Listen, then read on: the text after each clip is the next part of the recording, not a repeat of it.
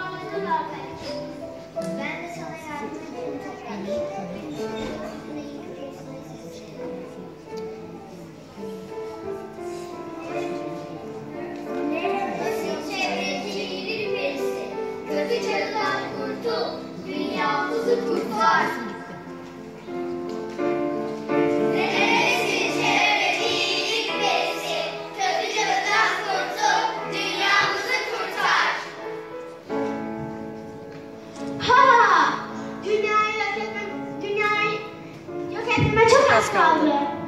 Dünyanın tek sahibi benim.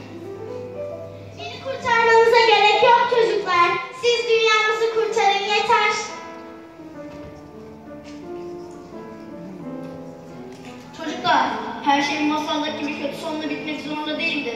Böyle kötü niyetli kişilere kanmayın. Aldığınız meyve ve sebzeleri iyice yıkamadan yemeyin. Çiftçilerin zehirli tarım ilaçları kullanmalarına izin vermeyin.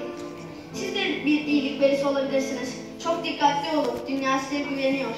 Doğayı sevin ve koruyun ki kötü cadılar bu savaşı kaybetsin.